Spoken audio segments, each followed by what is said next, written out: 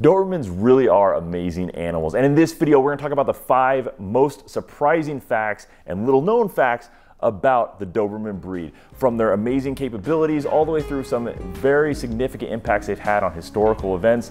These dogs truly are the superheroes of the dog world.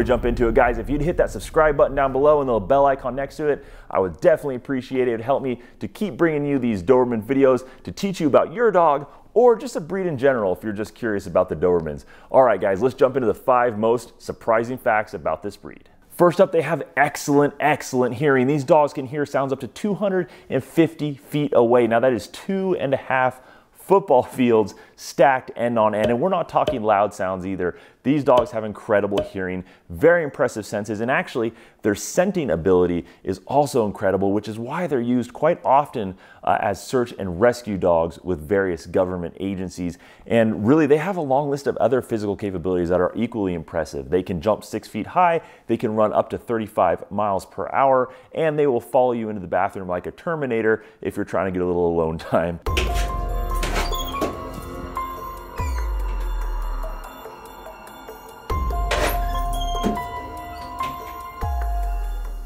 Um, these are incredibly impressive dogs with a long list of physical capabilities. That is nothing to laugh at. Number two, did you know there's such a thing as Doberman drill teams? It's true. It's comprised of Doberman owners and their dogs that march and parade around, much like a marching band almost, uh, in unison, uh, synchronized in a way that showcases the Doberman's agility and amazing obedience. Now, the first of these was in 1959, performed at Madison Square Gardens in New York City, but there's been many of them since, and actually one of the best known ones was the Miss Alvarez Doberman drill team, and they performed for close to 30 years at hospitals and public events all over the country. Um, now, if you want to see one of these uh, drill teams in action, there should be a video popping up in the corner of your screen uh, so you can get an idea of what this looks like. Number three, Dobermans assisted in the recovery efforts after the September 11, 2001 terrorist attacks in New York City. And while there are certainly others, um, Shirley Hammond and her Doberman Sunny are probably the most well known. And Shirley worked for the U.S. Federal Emergency Management Agency, and her and Sunny responded to New York City after the September 11th uh, terrorist attacks to assist in the recovery efforts. Since Sunny was a trained search and rescue dog, and although her dog Sunny was trained in recovering live people, um, he quickly kind of fell into another more grim role after arriving there. And in one interview, uh, Shirley was quoted as saying, quote, we did actually locate the body of a fireman, which was a dramatic find for the dog. Uh, Sunny is technically a live find dog, but because there were no live victims in the area, uh, he took the search a step further and started locating human remains. And while that certainly was a grim duty to undertake, Sunny definitely fell into another role during his downtime there um, while he was getting approached quite often by other rescue and recovery effort workers who really just needed to get their mind off of what was going on. And Sunny loved the attention and really helped ease the minds of a lot of these rescue workers that certainly had to go through a very grim duty during that time. And, you know, unfortunately, Sunny did pass away in 2004, but his legacy certainly lives on. Number four, they are insanely intelligent. And I know you probably know this, but you probably don't know how intelligent they are. Now, researcher Stanley Coren of the University of British Columbia did some research on this and found that dogs can learn up the meaning of up to 150 different words and they can use basic level deception and tricks to get treats or what they want from humans and other dogs. Their intelligence is on par um, with a two year old human child. And I can tell you, as a dad of a three year old child, that even when my son was two years old, he was already negotiating with me for treats, for snacks, for um, for things that he wanted to do for his bedtime. He was doing lots of negotiations with me, and the fact that a dog can be on par with a two-year-old child as far as intelligence is just absolutely amazing to me. Now, if that's dogs in general, where do the Dobermans rank? Well, pretty much no matter what outlet you look at who studies intelligence of different breeds, the Doberman is always in the top five smartest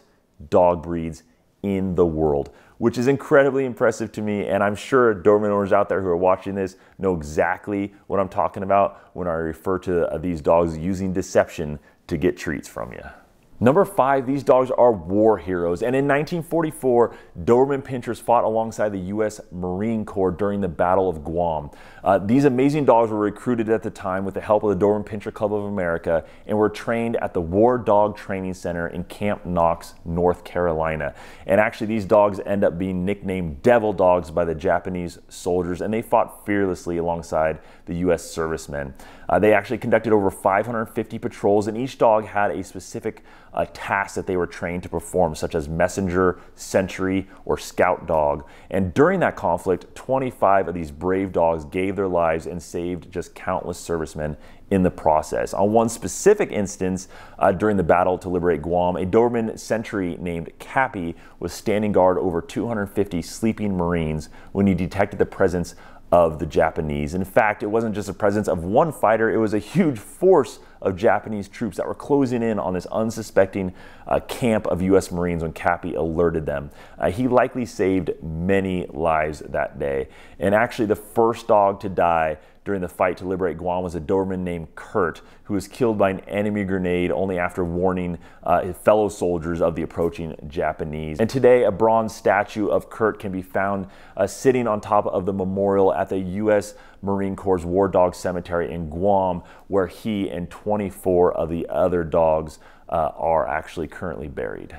Now, I got a bonus fact for you guys. The Doberman breed is the only breed in existence that was specifically bred for human protection. Now, I do want you guys to fact check me on that one because I've seen multiple very credible sources that cite this fact, but I find it hard to believe because I know protecting of people and flocks uh, of animals, for example, all that is uh, pretty common use for dogs uh, historically. So I do want you guys to fact check me. I know we got some breed experts on this channel of other breeds. So uh, let me know if you know of any other breeds in the comment section below that were bred specifically for human protection. Apparently, from what I'm seeing, it's only the Doberman, that they're the only dog in existence to be bred for that purpose. Now, we all know they started out in the 1890s. Carl Frederick Louis Doberman, a tax collector, night watchman, and dog catcher in Germany, uh, was the one that started the breed purposely for the point of providing him uh, personal protection while he's doing his duties.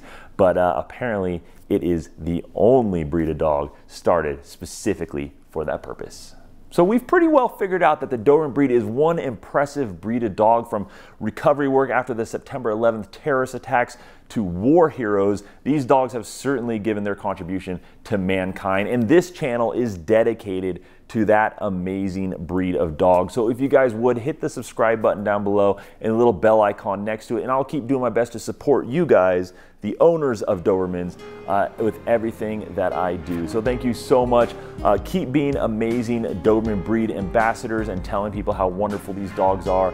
Uh, the word needs to get out about these great, great dogs. Uh, thank you so much for watching. And of course, I'll see you next time.